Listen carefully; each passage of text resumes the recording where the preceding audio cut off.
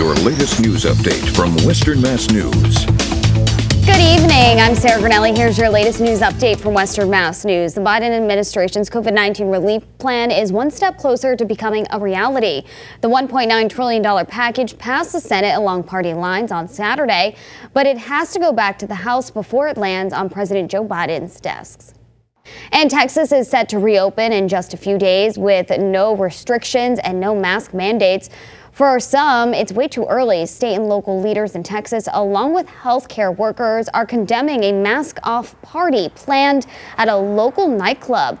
The event scheduled on the first day of the governor's orders that goes into effect lifting public health measures.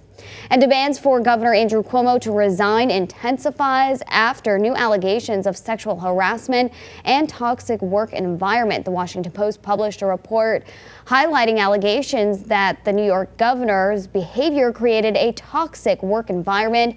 Female staffers told the paper they saw it as a part of the office culture.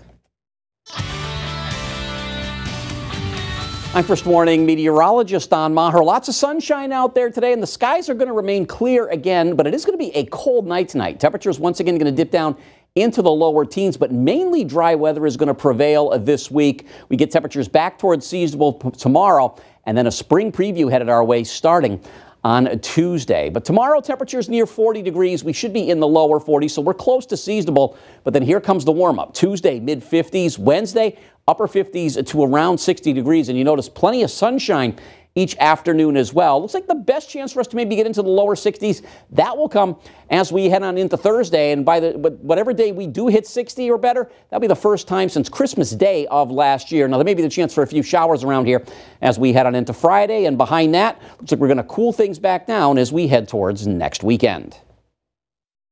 Stay with Western Mass News on air, online, and on our app throughout the day for breaking news, weather, and exclusive content.